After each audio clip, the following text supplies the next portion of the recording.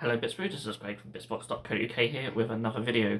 So this one is the next part of my Cursed City painting tutorial, but I'm also going to sort of mix it in with a sort of Blanchitsu style paint job as well. So originally I was going to do a video for the Crimson Court and do this Cursed City one as well, but um, the colour schemes are very similar, so I thought I'd just put them both into one video. So I am still doing my original plan of using like a warm colour palette for the Cursed City um, vampires, zombies, and whatnot. Um, but also, my Soulblight stuff is going to use a very similar scheme, and it's sort of Blanchitsu-esque, so I'm going for a really sort of gritty, sort of grimy, rusty sort of look. So um, yeah, both work really well with a warm palette. So yeah, I'm going to show you a couple of miniatures and paint them along in this video. So I hope you guys enjoy. So here I have one of the skeletons from Cursed City and one of the vampires from the Crimson Court. And I'm going to start with that armour, so because I'm going for this sort of gritty Blanchitsu look, I want to start with some Typhus Corrosion, and just going over all the armour plates with this, just with an old brush. And this will add just a little bit of texture to that armour, so I'm not applying it too thickly, I'm just going to spread it around. But yeah, that gives a really nice texture to work with. And to do it on the weapons blades as well. So once that's dry, I'm going to take some Leadbelcher now, and I'm going to dry brush this over these areas. So a fairly heavy-ish dry brush. I want to catch just a little bit more than the corners. And but mostly just all the edges and corners and stuff, but doesn't matter if it's a little bit heavier and you get a bit more on, picking up all that texture of course from the Typhus Corrosion. And then I'll go a little bit heavier with it on the areas I actually want to be silver like the blades. So once that is dry, then I'm going to take some contrast paint. Um, you can take any colour you want. I'm using Gryph-hound orange, but um, it depends what colour armour you want to use if you're following along this tutorial. Um, reds look quite nice, and as do blues and greens and whatnot. But I'm going with um, this orange, and just yeah, straight out of the pot, just chucking on all the metallic areas. Now some areas will be gold, or brass a little bit later on, so but I'm still going over all of them, so that doesn't really matter too much.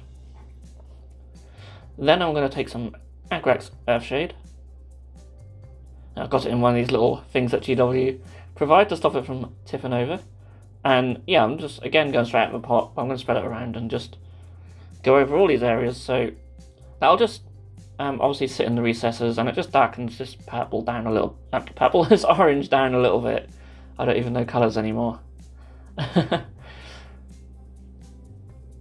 and yeah, then it's back in with the Leadbelcher, and again, this time a very light dry brush, and this time we do just want the sort of edges and corners and that. I apologise if the picture wants to go out of focus a little bit now and then, um, such is the autofocus I've got on it. There we go. Yeah, it's very carefully just going around like so. And of course I'm doing this on both miniatures at the same time. Um, I probably don't need to say that as you can see, but I will switch between the two, which one I'm using on different steps. So for all the sort of cloth areas, and I'll use a cape as an example on this one, I'm going to start with some Steel Legion Drab. As you can see, it's going to need two or three thin coats to give us a nice coverage.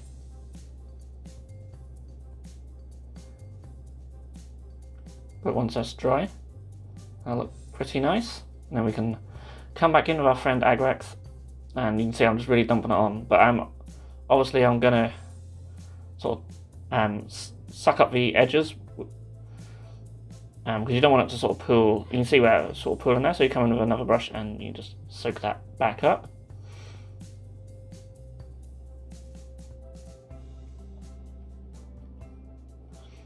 And next up I'm going to mix in some Ushabti Bone to a Steel Legion Drab to make the highlight. So I didn't feel there was a particularly great colour in the GW range to highlight this. So yeah, I'm just going, just sort of um, layering up a little highlight here. Um, you can of course um, stipple on your highlights get some nice texture. There's some good um, tutorials online doing stuff like that. Um, if these weren't sort of more rank and file. I mean, I could have done it on the Crimson Court because they are sort of hero miniatures, but um, I just want to show you just the sort of quick and easy way of painting these because they really don't take too long at all to paint, which is what I really like about painting stuff in this style. So, the brass areas are going to be painted with Runelord Brass. I'm such a huge fan of this colour um, since it's come out. I've used so much of it. Um, I don't like using bright golds, especially on stuff like this, so brass colours are so much better. And this one has such a good coverage. Um, for a GW metallic as well, it's quite rare. So, big, big fan of it. And yeah, just painting a few areas in this colour. And again, I apologise, um, the focus is all over the place on this. Um, maybe next time I will just go on manual rather than auto, but it is what it is. So yeah, I'm actually gonna take a contrast paint now and the uh, Fyreslayer Flesh and just thin it down and use that as a wash. I like how, how it's got sort of like an orangey redness to it. Um, of course you can just use your Agrax if you want if you want something more brown, but yeah, I'm quite liking using contrast paints as washes just to mix things up a bit.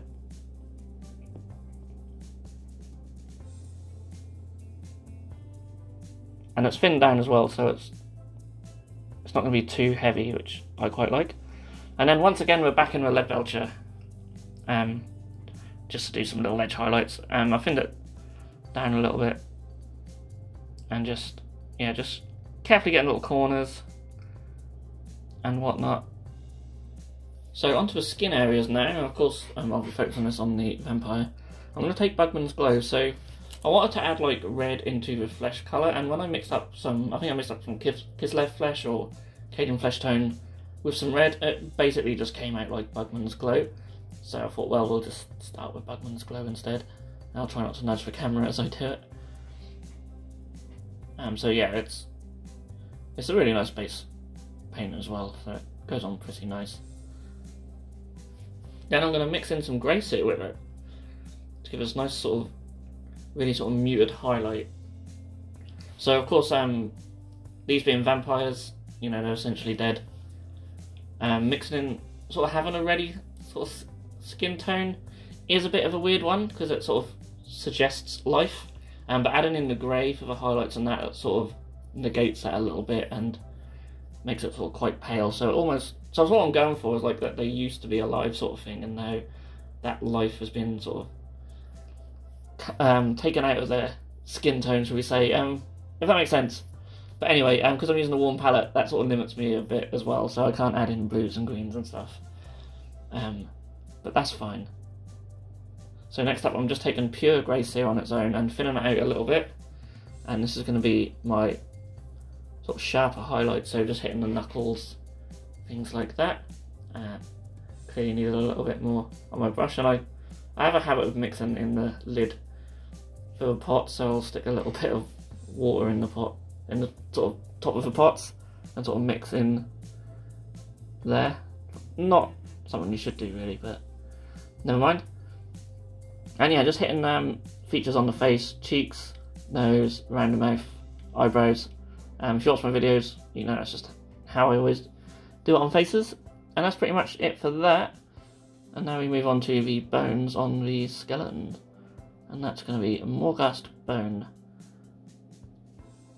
uh, for the base coat. Uh, I'm painting the bone in a very simple, simple way on this one. And I do a couple of thin coats for this one because I just don't quite cover the black. And then uh, old friend Agrax Earthshade is back once again. Now, of course, um, if you're really into your Blanchitsu stuff, you can use like oil washers here, like a burnt umber. Um, everywhere I've, uh, where I've used Agrax, you could use that instead, which would be awesome. Um, but just for sake of time and and um, sort of ease of video, I'm just going straight into the Agrax. And then the Ushabti Bone for the highlights. And you could take a further highlight here and use some Screaming Skull afterwards if you want, but I just sort of just stopped it here. I didn't want the bones to look too bright. So, just very simple way of painting them, but they look quite cool. And now it's Abaddon Black for the hair, so I wasn't quite sure what colour to do the hair, but thought keep it simple, just do it black. And again, I apologise, the focus is just awful. It just wants to focus on my fingers and not the miniature. Um, but you know what's going on here. You know what's going on. We're painting the hair black. And then move on to the other miniature and paint the highlights, um, which will be with Eshin Grey. There we go, put it in shot. And yeah, just painting the strands of hair. Also, um, there's little straps and stuff on these miniatures and little bits on the scabbard. They're all also painted black in exactly the same way.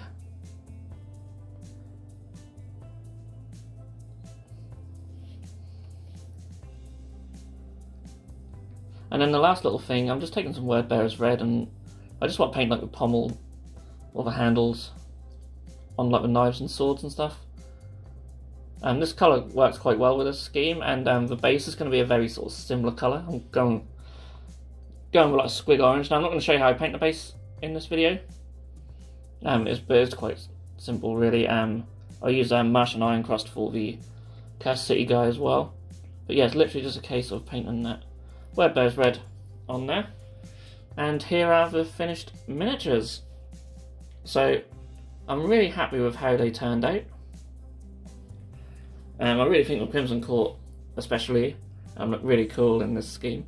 And yeah, um, I have been painting some other Cursed City stuff. I won't show you in this video, but you can check out our Instagram link down below. Um, everything I paint ends up on our Instagram, and there's also links to our Twitter and Facebook and things like that. Sometimes they end up on there as well, but mostly I focus on the Instagram for that.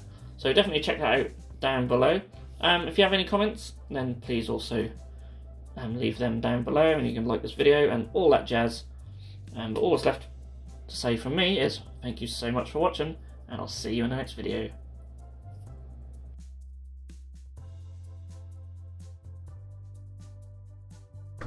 If you enjoyed this video then please feel free to subscribe to our channel if you haven't done so already.